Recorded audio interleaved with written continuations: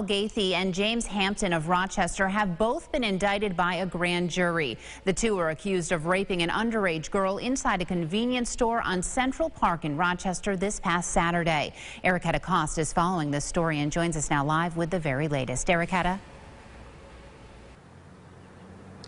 Good evening, Katrina. While those two indictments were handed out, this statement from the alleged victim was also handed out. We took a look at it today. The details um, go into what she says happened to her that afternoon in that convenience store. Details are disturbing, so we won't go in depth. The girl says it started when she asked the man behind the counter for hair gel.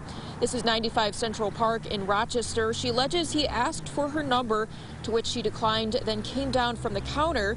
He forced a hug, she says, took his arm behind her neck and pulled her into a back room. Police allege this man was Shadad. It was at this time she says she was raped while another man sat at the front of the door.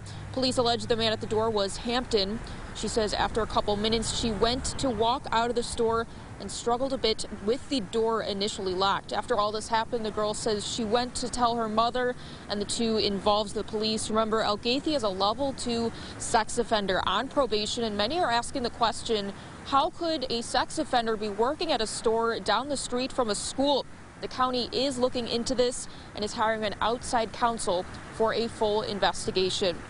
Reporting, Ericketta Cost, News 8. All right, thank you, Ericketta. The DA's office says the two will be arraigned in front of a Monroe County Court judge or a New York State Supreme Court justice in the Monroe County Hall of Justice.